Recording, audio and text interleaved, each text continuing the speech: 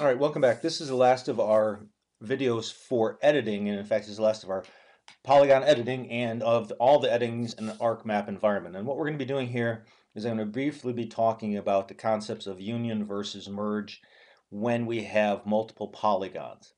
Uh, important idea here is that merging, when we uh, both of these act to take two distinct polygons that share a boundary, and in a sense combine them into a single polygon, in other words, dissolving them into each other.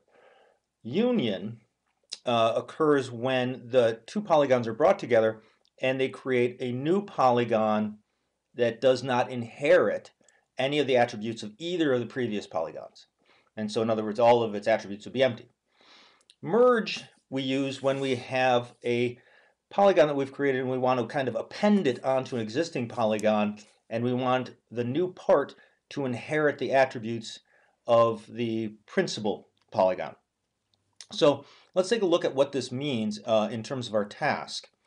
What we've done, remember, is we cut out a piece of the county boundary and we then formed the coastline.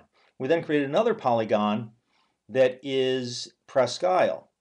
Now what we could do, we could union those two pieces together and have them have no attributes to them and that would be kind of this new, if you will, the downtown Erie area. Alternatively, and what I've done is I've, I've named the bound the, the coastline, we could append the Presque Isle component onto that and inherit the attributes of that downtown area. And that's what we're actually going to do. I'm going to have us do a merge so that you see how this works.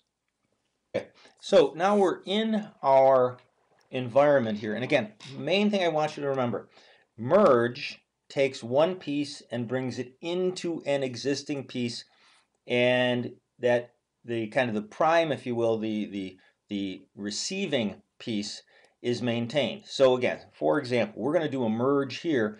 And what I'm going to do is take and merge this part of Presque Isle with the shoreline. So again, we're going to start our editor. And again, we're going to be editing PA counties here. So I'm going to right click edit features, start editing. And in this case, so what I do first is I'm going to select the two pieces that I'm interested in. There's one, hold down the shift key, select the other one. And now when I do editor, and I'm going to go to merge, and again, choose features to which other feature will be merged. Erie County is this piece here. That's what I named, or Erie Shore, that's what I named this one here and I want to join this piece to that. Okay, um, again, choose the feature with which the other feature will be joined. So I want this piece to be joined to this piece. So that's what I've highlighted. Now I'm going to hit OK. And what I want you to notice is, again, this boundary now ceases to exist. And now if I look at the identity of it, you're going to notice that it kept the Erie Shore attribute. Anywhere on here is now Erie Shore. And so that's one option. And again, that would allow us to combine these into the original. So in other words, I'm adding this piece to this. I'm going to stop the edit now for a minute, and I'm going to discard that edit. And we'll be back to where we started. Now, I want to show you the difference between that and a union. So again, we're going to go back to our editor. And in this case, we're going to start editing. And again, we're going to select our two feet pieces again. Similar idea. Shift key, hold it down. And now, though, I'm going to use the Union tool. Now, what is important about this is please note that originally we had two pieces, and now I'm going to do Union. And I'm going to use a template. And again, I could literally use any other feature class to do this, but I'm going to choose obviously the one that I'm going to go into. And I'm going to click OK. Now, what we ended up with, and this is a really important idea, is that this feature class now, and I'm going to open up our attribute table, and here's our selected attribute, and it's this one right here. The union did not, you'll notice it doesn't have the name that was the original feature. It's simply a new feature. What is important about this, though, and I'm going to get rid of all of these, and I'm going to scroll all the way to the bottom, you'll notice that Erie Shore and the other piece still exist. Let me show you these. So if you look at this, okay, that's now I've got this one highlighted. I'm going to move this down a little bit.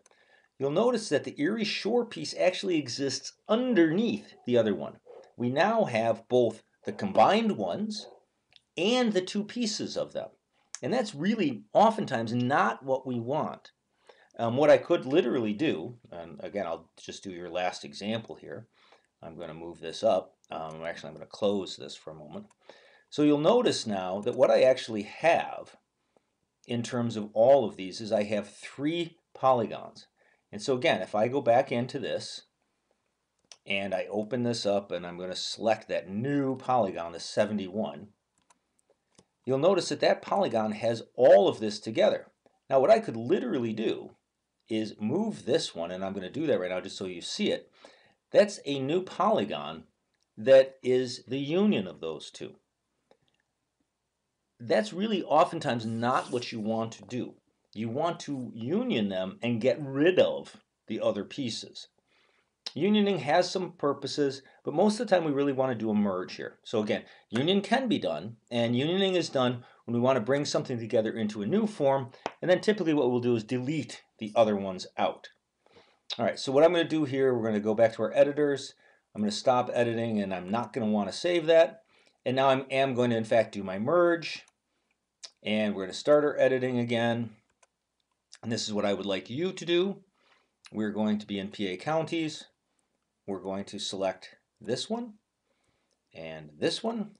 We're going to, in this case, merge them, and we're going to merge them into the Erie Shore. Click OK. We now have that, and now again we're going to create, we're going to, uh, I'm sorry, save our edits, and we're going to stop editing.